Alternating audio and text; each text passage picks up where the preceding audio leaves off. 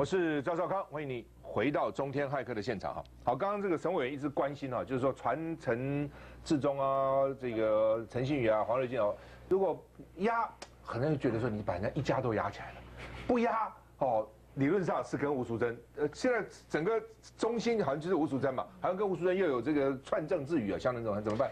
我觉得，我觉得司法不能够去去考虑到，就是说舆论上面的这种这种为难之处啦。就说基本上他必须要就他的事实跟他专业去做判断。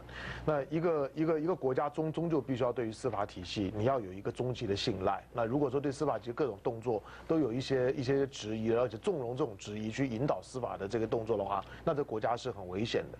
或者我我纯粹就因为我跟我跟易宏也反复讨论过这个问题啊，我的我我的看法其实比较一样。之前我也讲过，就不压陈志忠。跟跟跟黄瑞静啊，其实可能从很多舆论的角度来讲，觉得非常的难接受。但是到目前为止所曝露出来的犯罪事实的部分啊，陈志忠跟黄瑞静最少一口咬定他们参与的是后段的洗钱的部部分。那就洗钱防治法这部分来讲，因为它又有一个二二等金的一个保护的，就是说责责任的排除条那条款了。所以如果他没有参与到前段的整个贪污啦、纳纳纳贿啦，就整个的一个犯罪事实的构成的部分来讲，单单后段的洗钱部分呢，你要去你要去你要去羁押他的理油跟难。度啊，强度啊，其实都都不太够的，这是很重要的。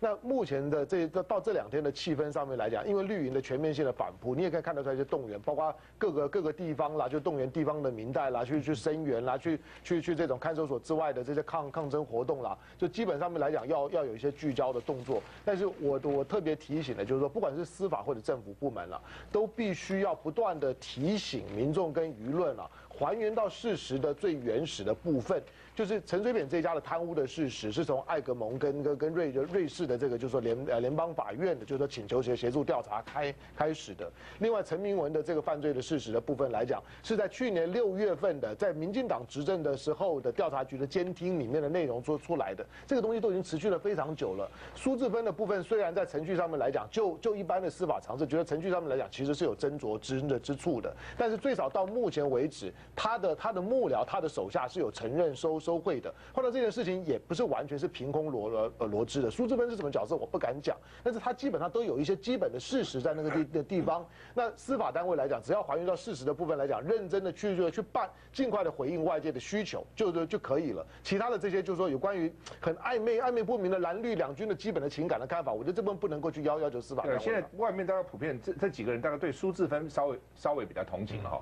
那因为他也也是因为那个那个传他的时候啊，程序上未传就拘了哈。但是我相信哦，一个县长在地方上也家族政治，那个检察官如果没有哈这个相当的证据哈，敢这样做，我也不相信。所以自己找麻烦嘛，压力很大，赶快，赶快起诉。证据摊出来，大家来检验。来检。我觉得我们命题会决定大家的结论。刚刚问的是说陈志忠他们自己人要不要压，我们应该在同时也问一个说他们要不要被起诉。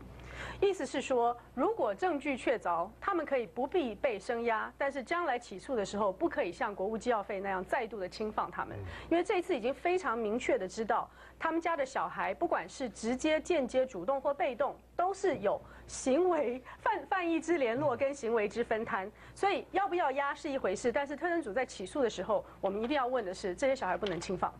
沈委员刚才是提到吴淑珍了，所以那个主要那个还在那里啊。吴淑珍当时有一个很经典的画面啊，就说呢，大家来看看他不能拒绝，我帮大家重温一下这个画面。就是要看我脚受伤，嗯，那人家说要来看我脚伤，我能拒绝吗？嗯哼，那米心他也说要来看我脚受伤，我能拒绝吗？我能拒绝吗？哎，他要来看我，我怎么办呢？那他要来啊，对不对？甚至你可以扩尔到要来送钱呐，我我能拒绝吗？当时他们如果真的只去探望了他的脚受伤。没有涉及其他的讨论的话，今天国家不必讨论第一夫人的行为是否适当。显然的，包括今天在报纸上关于泰社跟搜狗跟远东，他都介入了直接实质的判准，所以不只是去看他而已。所以刚刚我觉得赵大哥选的那一段呢，真的让我们可以理解为什么他们还是有人会相信他们，因为他说我能拒绝吗？可是问题是，他实际上的行为是远远超过探望了，而且。我想省我们省委员那种感慨特别深。我最近在想这吴淑珍的，有时候觉得他真的很狠，对吧？像陈友豪送了钱，哦，他还否认，而且还说去跳楼。跳楼。哎，今天如果有人捐钱给我们，我们感激都来不及啊！也不能说你去跳楼好了，就这样子。而且他可恶的，他说他记忆力比神父兄好，我就要讲这个，记忆力比比神父兄好，这点很可恶的。我我最在意的就是说，这一点，生委员的记忆不好。那你想，你还记得我怎么回答吗？我说夫人记忆好是国家的福气。但是但是我刚才听你的口气啊，我觉得你好像有一点被夫人说服了。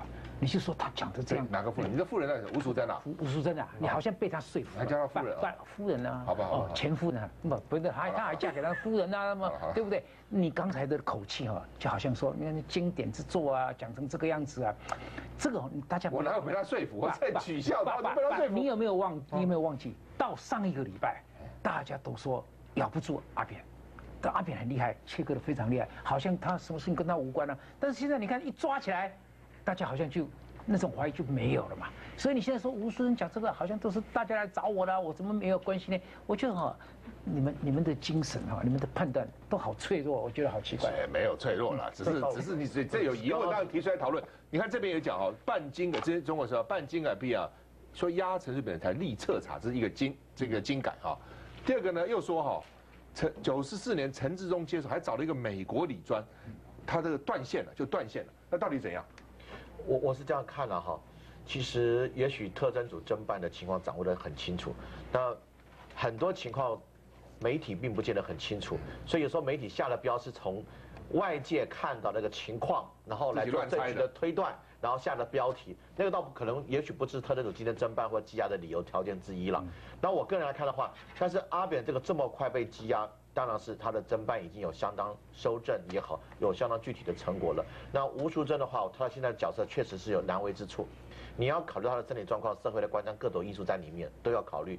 但是如果从这么快，刚刚我们上节提到他的子女都收到传票的话，我觉得角度是绝对是加快的。吴淑珍自己心知肚明。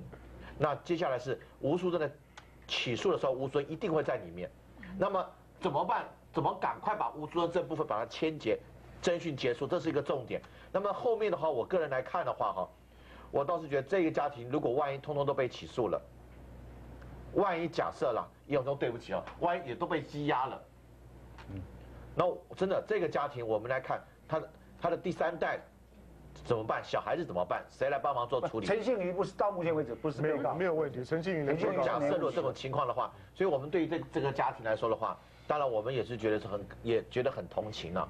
可是又换一个角度来看的话，一个过去八年刺杀一词，尤其刚刚赵大哥你播的那一段呢，我我的看法就跟我们这个沈大佬不太一样，是，你看到他说那个话，谁谁谁来看我脚伤，我能拒绝他吗？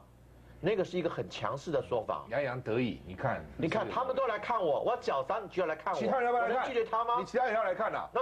为什么？那别人来看你，你都答应了吗？一般老百姓、游民来看你，你也答应他来看你吗？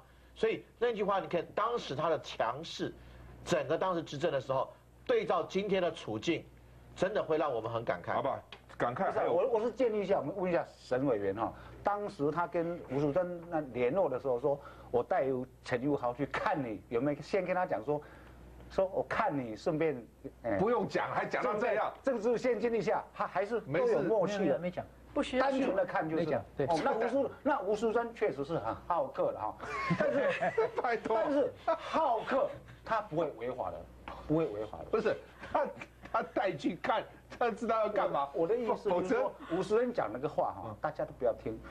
今天办你不是办去看你脚伤啊。是去办理这个行贿拿钱，是办理这一点嘛？如果沈富雄委员，我们那时候不是行贿啊，你不要忘掉。这这这，如果如果沈富雄委员自己说我去看你。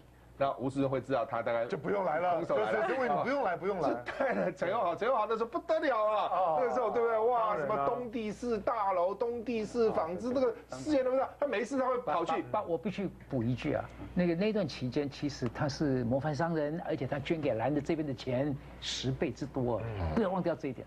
也很多，哎，所以反正两边押宝了这一点，当然要强调这一点了。你这个啊，这一点很重要的一点了。两反正两边押宝了，很多商人这样。中天阿哥，续在再会。